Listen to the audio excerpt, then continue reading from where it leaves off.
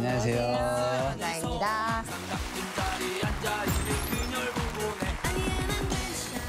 음, 엄청 응원도 많이 해주시고 반가운 얼굴이라고 많이들 나가서 이왕이면은 좋은 성적 거두고 오라고. 응원 되게 많이 해주시더라고요.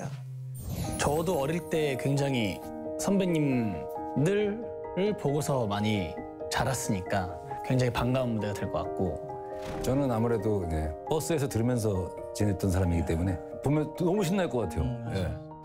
어, 버스 안에서 저희 23년 전에 저희 데뷔곡을 2020 버전으로 락댄스 버전으로 재탄생시켰어요. 저희한테는 좀 남다른 게 버스 안에서라는 곡이 정말 기대 이상으로 너무 긴 시간 동안에 이렇게 사랑을 받을지 몰랐 거든요. 23년 그 이상으로 또 이 버전이 어, 많은 분들께 많은 사랑을 받아서 쭉쭉 오래 기억됐으면 좋겠어요. 그때 당시에 인기가 어느 정도였는지 첫 방송을 하고 한 6주 만에 저희가 1위 후보까지 올랐거든요. 1위 후보만 저희가 4개월 동안 해서 3, 4 방송국을 매일 다녔던 기억이 있습니다. 저희가 트로피가 없잖아요. 1위를 한 번도 못해서 욕심 나네요. 그러니까 트로피 저희가 놓치지 않을 거예요.